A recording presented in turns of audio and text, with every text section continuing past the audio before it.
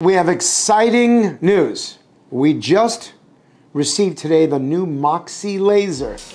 Yay! This here is our Moxi laser. It's a non-ablative wavelength. It's great for pigmentation. It's safe for all skin types and it's great for patients even when they've been out in the sun. No downtime. You can put makeup on later that day or the next day. The beautiful thing about Moxi is it can be paired with other laser treatments such as broadband light or halo laser, and we can also do Botox immediately afterwards. You're gonna love it.